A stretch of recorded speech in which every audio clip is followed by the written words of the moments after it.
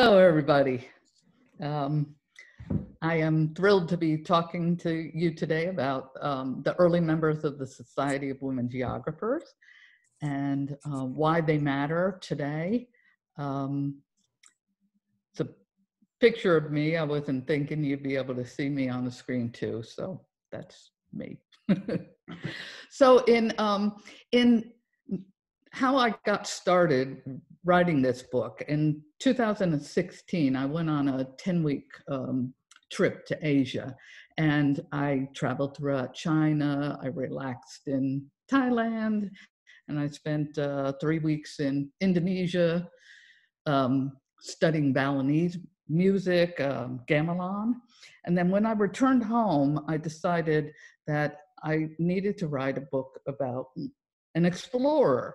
So I started doing some research, and my research turned up Blair Niles, and I was a re- I was really taken back by how um, how forward thinking she was. So I started to do some research on her. And I found out she was uh, born on a plantation in 1880, surrounded by freed, freed slaves. Um, two decades earlier, her maternal grandfather um, had provoked the nation into starting the Civil War on behalf of the Confederates.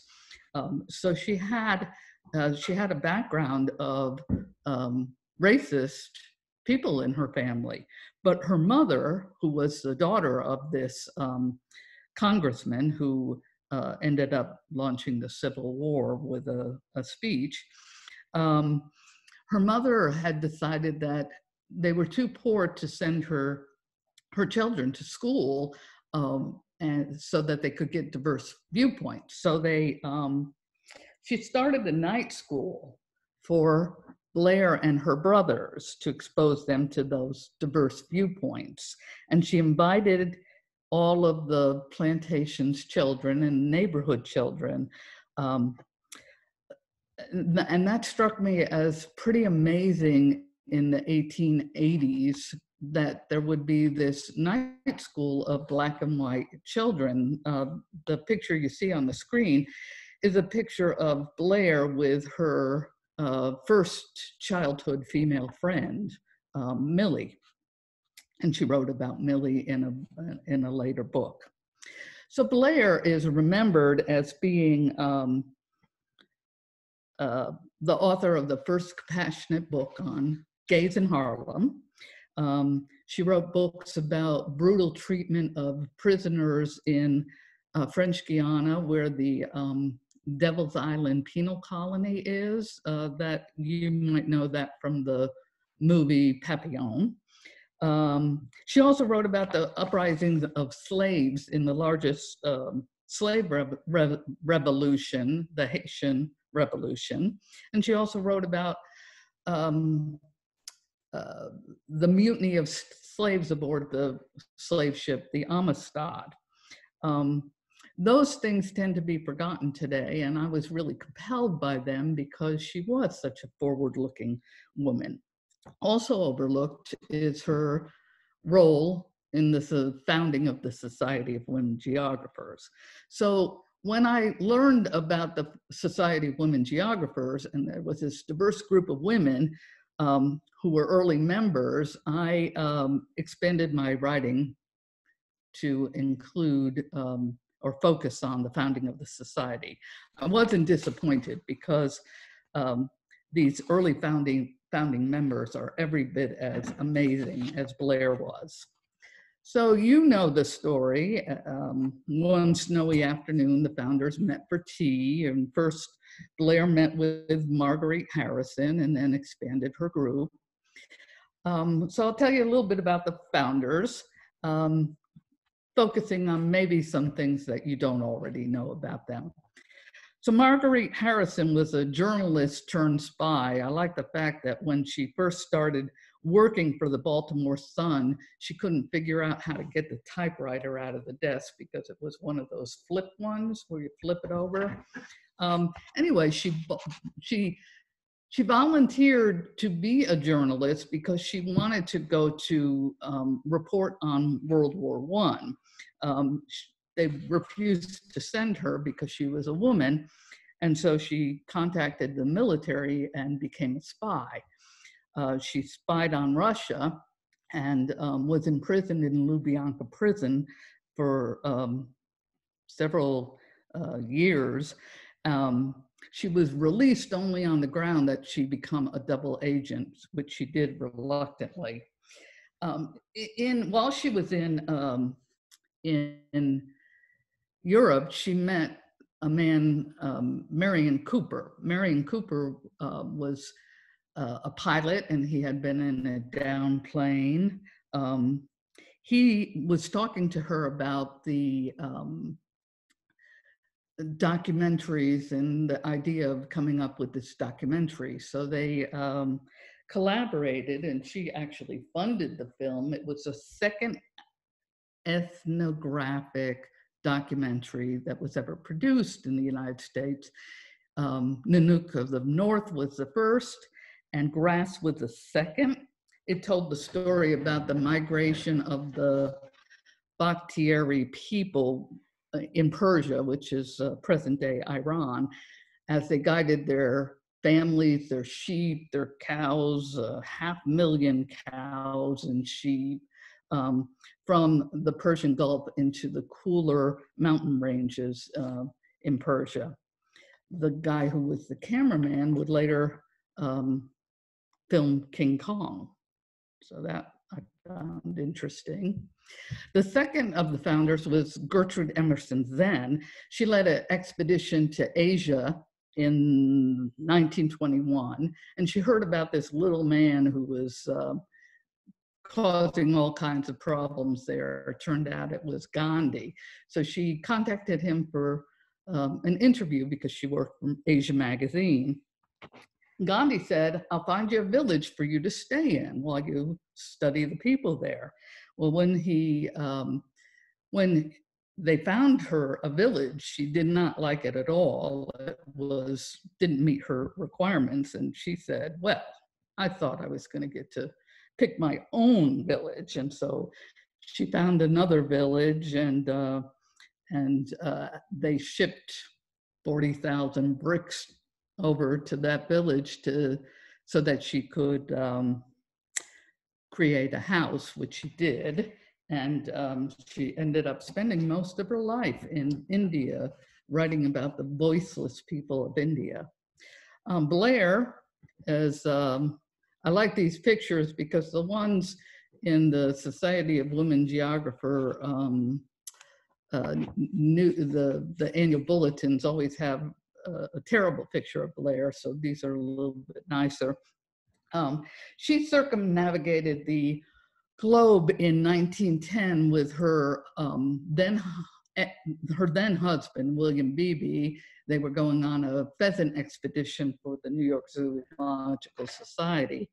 After their divorce, though, many of the women in the society joined William Beebe in either working with him or visiting his tropical research stations. One of those was Gertrude Matthews. And Gertrude Matthews, this best picture I could find of her, um, she went to visit him on an expedition to British Guiana. Um, she was a feminist ge economic geographer who studied land use and natural resources. And she also studied the Gullah people of uh, South Carolina. Harriet Chalmer Adams, who was the president of the society, um, she believed that white people didn't have a monopoly on greatness. And as a humanitarian, her goal was to dispel many of the um, myths that had led to prejudice against those of Spanish descent. And she was on a mission to visit every country who had ever flown the flag of Spain. Um, Later, that goal would be interrupted when she was uh, walking on a cliff in the Balearic Islands. I'm not sure if I'm pronouncing that right, right, off the coast of Spain. She fell off the cliff and she broke her back. She had to be transported by ship um, back to the United States, where she spent two years in bed recovering. And during that time, she worked on the Society of Women Geographers uh, business and hoped she would again be able to travel, which she did. So these women could have been, they could have started a, a women explorers club, but they didn't. They started the Society of Women Geographers. That was because they wanted to attract a diverse group of women, not just explorers. So when I talk about diversity, obviously we look at this picture and there's some diversity, at least in age, but certainly not in the way we normally think of the word diverse. Um, most of them were white, but they were diverse in other ways socioeconomic groups, um, educational attainment, marital status, um, sexual orientation, occupation, ethnicity, and nationality. Those all were different.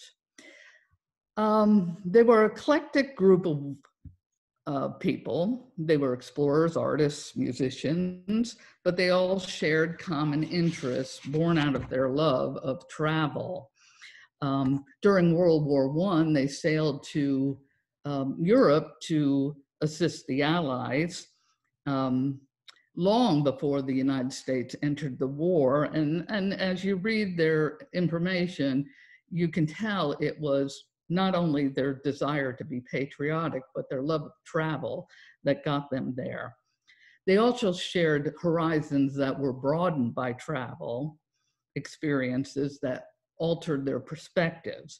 Blair Niles viewed travel as a spiritual journey with the object of studying the national soul. She wrote, One of the results of much wandering is undoubtedly to develop in the wanderer as many standards of beauty as there are races. Travel inspired these women to um, celebrate differences and to encourage homebodies to see the world through a different lens. So I'm going to go through some of the the people who were included as early members um, to show the, the diversity of, of geographers that they had.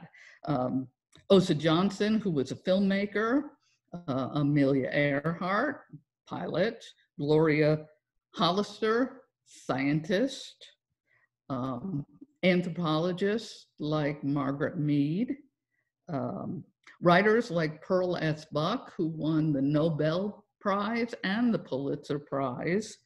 Um, mountain climbers like Annie Peck, one of my uh, favorites of those uh, early women geographers.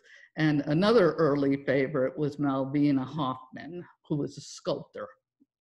Also, Frances Desmond, and who was a music ethno, ethnocologist, and Te Ata Fisher, um, a member of the Chickasaw tribe who was a storyteller. Most of the early members shared a common interest and had a concern for marginalized groups. And that's what really attracted me to my study of the Society of Women Geographers.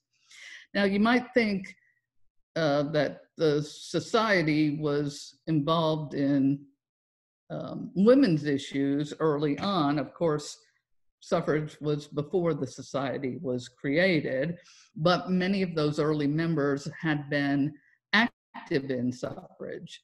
Um, they they all seemed to march in parades.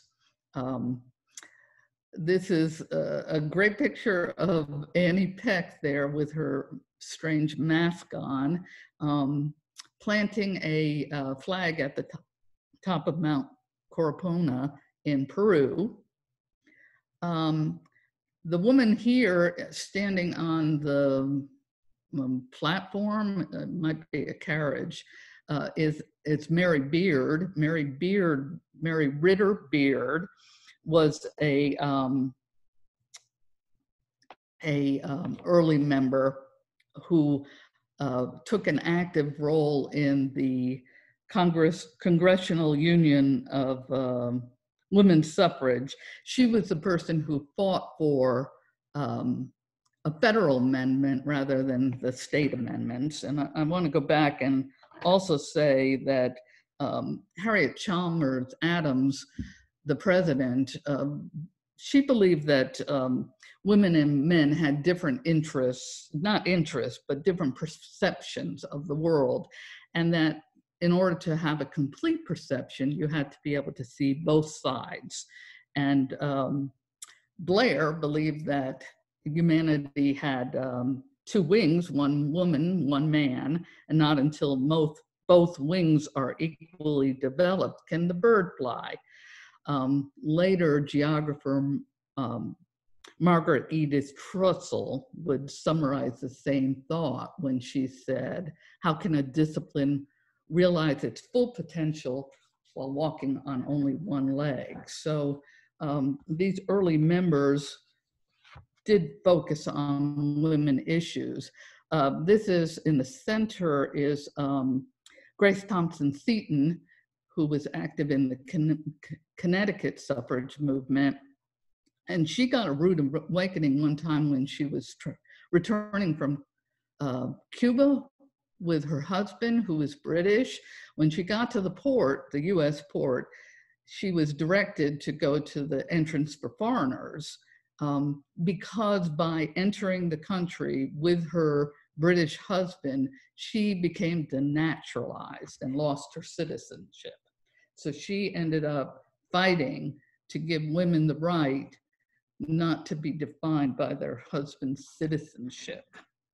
Ella Riegel um, was uh, um, a leader in the Congressional Union of Women's Suffrage and later the National Women's Party. She was known as the Silent Sentinel, an Iron Jaw Angel, uh, for her silent protests. So on the left side, you see them silently protesting the White House. Later, they burned the president in effigy and um, were arrested, went to a workhouse, um, and then uh, chartered a train to travel the nation across to California um, to broadcast their unfair treatment in the prison. And that actually did put a lot of pres pressure on the president to pass suffrage.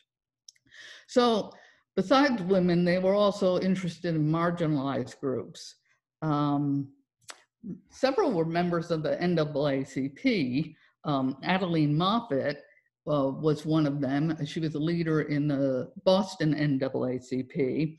And um, you see on the left side, the film um, Birth of a Nation came out and she um, she spoke between, before the Massachusetts leg legislature um, to seek censorship of that.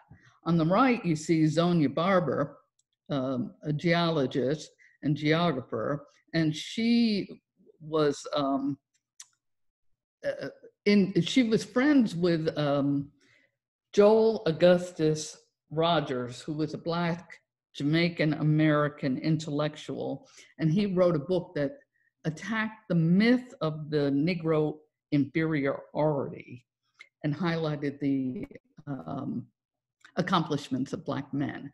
So um, she invited him to her house. This was in the around 1915 to speak to her students.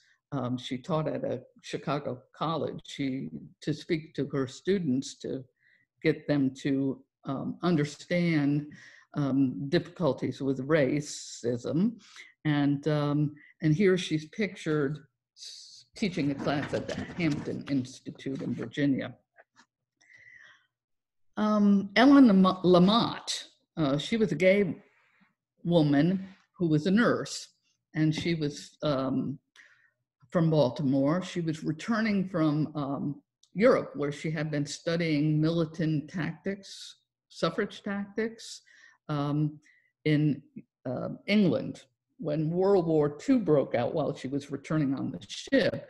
And she immediately decided she had to go back and, um, and help the wounded um, in um, World War One. She returned and worked at a, a, hospital in Belgium. She was having difficulty with her feelings about um, the conditions that the the um, uh, soldiers were in and the and the people who volunteered for the war who really did it sort of as a so they could say at cocktail parties i went to europe and helped uh, fight against the allies. Um, and she didn't like that. So she um, she wrote this book it's called backwash of war and in it she unflinchingly writes about um, the war and the the um, conditions of these wounded soldiers, the stench of the operating room uh, permeated that her stories. Um, that the book was later was shortly um, censored because it was so negative about um, the condition of the wounded. But it is regarded as one of the best books on World War One.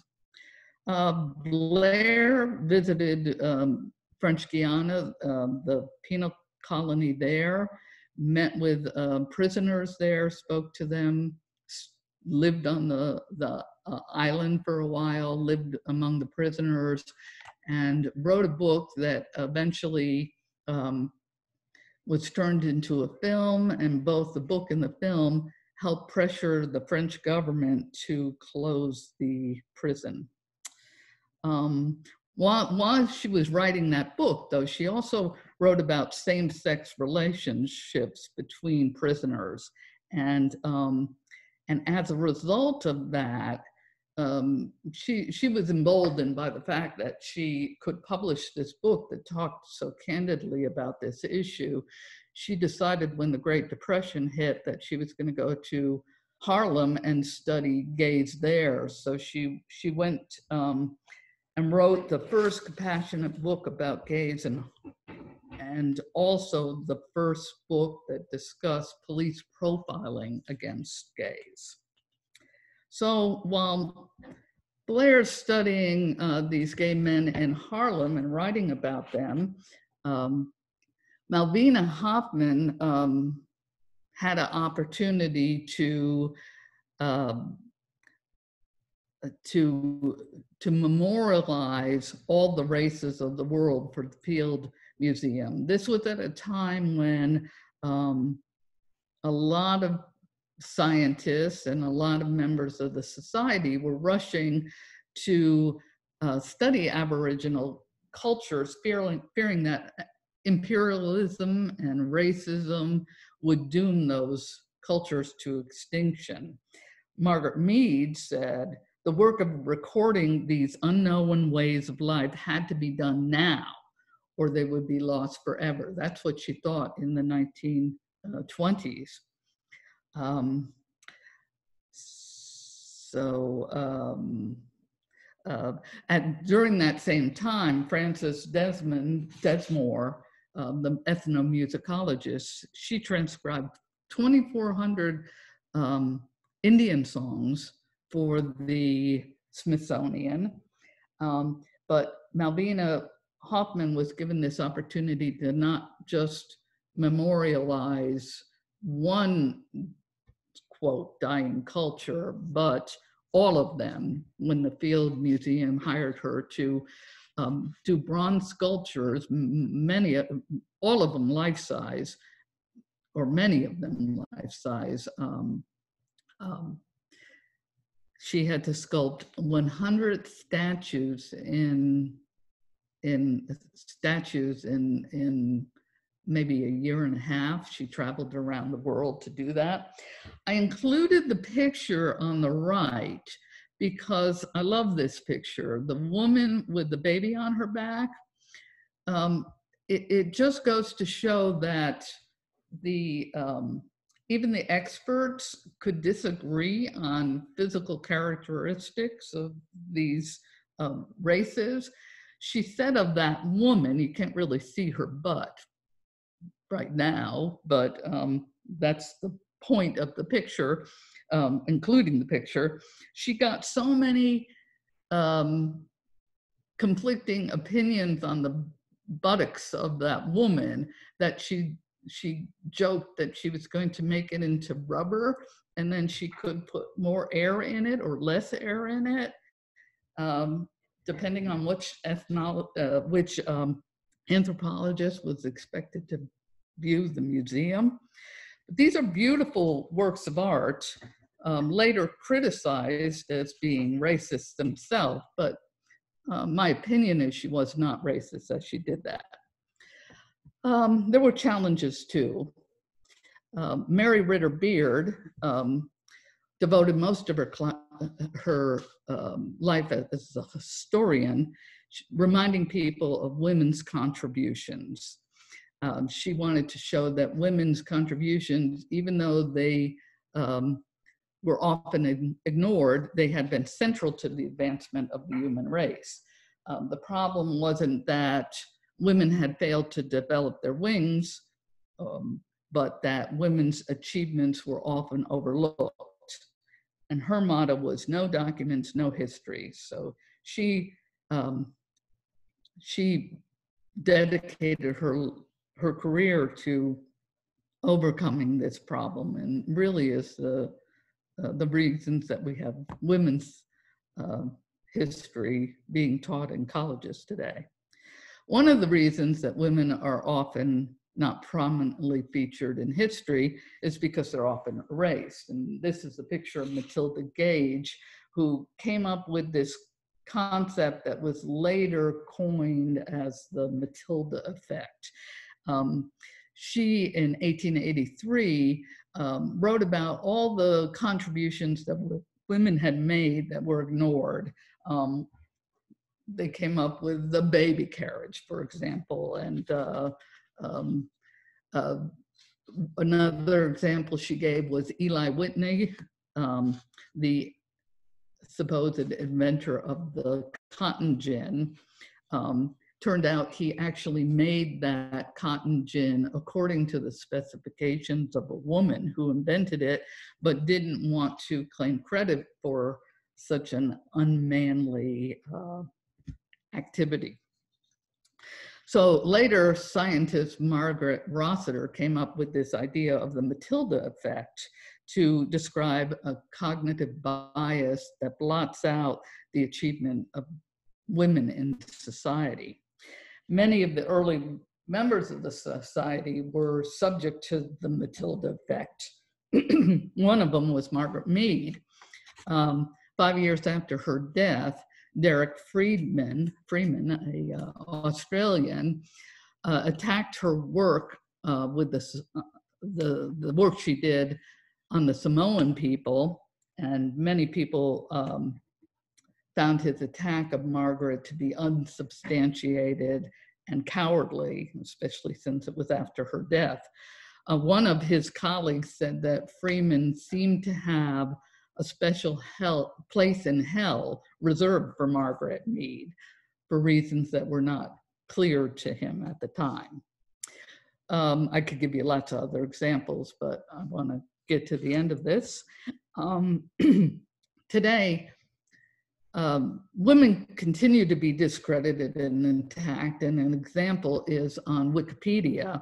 18% of biographical um, entries on Wikipedia about women, 18%. Of those, 80% are stubs, which means undeveloped. Um, and 70,000 notable women uh, do not have Wikipedia entries. So uh, women are also more likely to be deleted than men. And there are examples of, of um, the editors deleting biographical entries of women that they just don't feel are supported. Um, there have been organizations uh, that hold these edit edit-a-thons in order to um, increase women's Wikipedia profiles.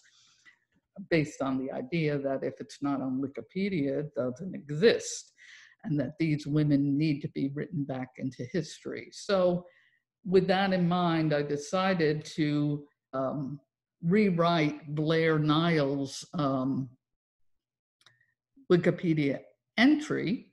Um, and so um, I, I did that a couple months ago.